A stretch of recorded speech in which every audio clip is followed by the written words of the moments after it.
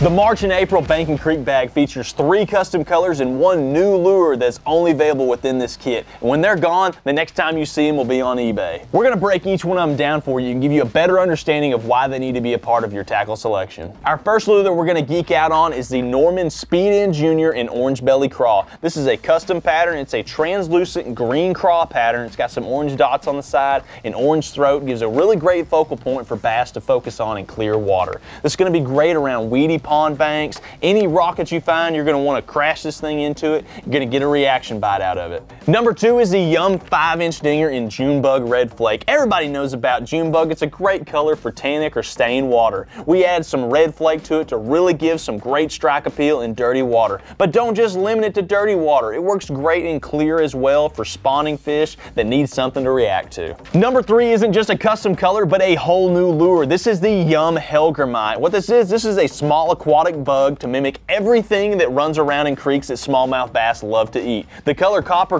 what this is is a black top with a motor oil bottom with some really cool copper flake.